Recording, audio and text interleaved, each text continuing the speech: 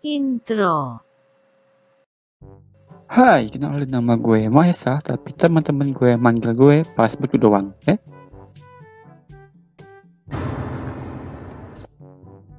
Kenapa sih itu? Wignya jatuh kali. Dia tampak seperti memohon ampunan. Dia memang punya banyak dosa sih. Angkat wajahmu, wahai anak muda. Rin, wah loh, kok ada om botak? Gue salah satu tokoh utama, woi. Udah, jangan sok sedih, mending kamu sok asik aja. Lu aja di- jadi alim pas mau UN doang. Jangan buka, jangan buka aib dong. Oke, ulang lagi. Kalian semua ah, boleh dipanggil M.